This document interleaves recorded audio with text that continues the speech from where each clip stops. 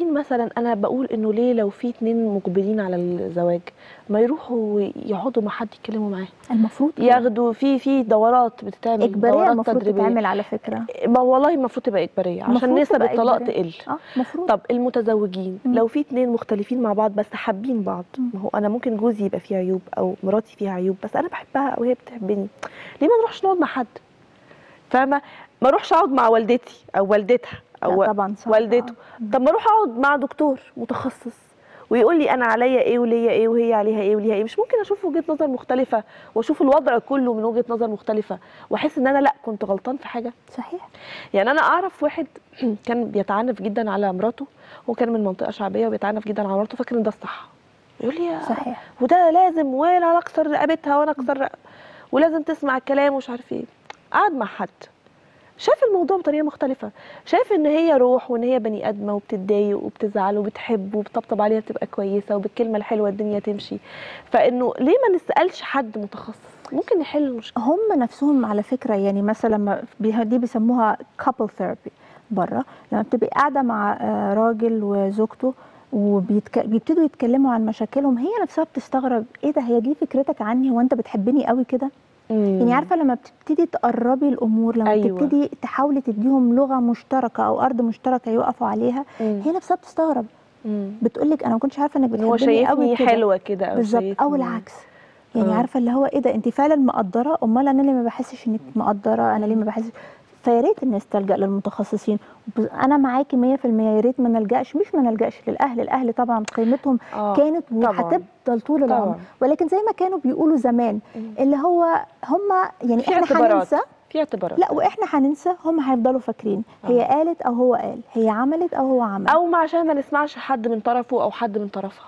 نجيب حد متخصص. المفروض. لأنه ساعات في برضو تبقى أم الزوج بيبقى ليها تأثير عليه. طبيعي آه، تعمل لا زي ما هي كانت بتعمل معاه في البيت عايزة مراته تعمل له. صحيح. وهو كمان بيبقى منتظر ده. طب انت لو شفت طرف ثالث خالص حد متخصص وسألته هيقولك انت بقى كزوج واجباتك إيه؟ صحيح. يعني انت مش عليك ان انت تصرف فلوس بس لا. صحيح. في ليك دور تاني في البيت لو قمت بيه حتى لو ظروفك المادية مش قد كده.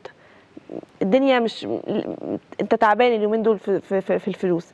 لو انت قايم بدورك بقى في البيت كرجل وكزوج وكأب هنشيل بعض هنستحمل بعض. بعض. الدنيا هتمشي على فكرة يعني كلمة هنشيل بعض دي دي مهمة قوي ما. بقيناش نشيل بعض إحنا ما بقيناش نستحمل بعض على المستوى الإنساني فيعني ما بالك الزوج والزوجة فعلا ما بقوش يستحملوا بعض مم. بقوا مستنيين لبعض على الغلطة وكل واحد عايز يسجل غلطة التاني في كراسته مم. علشان أطلعها لك لما أحتاجها عارفة مرة كنت بتكلم مع رجل دين يعني كنت بقول له نسب الطلاق زادت قوي ليه يعني فقال لي هقول لك حاجة قلت له الظروف الاقتصادية؟ قال لي لا. هقول لك مش بتشوفي حد يعني بواب أو يعني. حارس العقار. البواب قاعد هو ومراته مخلفين 10 عيال قاعدين معاهم وبيضحكوا صح؟ ومبسوطين. أقول له آه صح فعلا. وهما معهمش فلوس كتير يعني. قال لي ليه؟ ليه؟ قال لي عشان متفقين. متفقين في كل حاجة في العلاقة الحميمه في ال في ال بيتكلم بيودوا بعض. قال لي حتى شوفي بصي إنه ظروفه صعبة قوي. بس متفق مع مراته مفيش مشاكل. فحسيت إن الموضوع فعلا مش موضوع فلوس. عمره ما كان مش موضوع فلوس، أزمة لا. مادية لا لا. موضوع تفاهم وكل واحد بيقوم بدوره. بس هي أسهل إن إحنا نرميها على الأمور المادية. آه. يعني أنا مثلا بدل ما أقول آه، أنا سيء وأنا مش عارف إيه هي طماعة هي عايزة فلوس. أو أنت مش مكفيني. ما هو دايما بيقول لك في حاجة في علم النفس اسمها primary primary و secondary حاجات إني اولويه لما و- بالظبط. فأنا أحيانا بيبقى على السطح انت مش مكفيني ماديا لكن في أيوة، أمور أعمق الأمور الأعمق آه، لو- لو بتبقى- آه، مش هبص بتبقى كده. السطحية. بالعكس.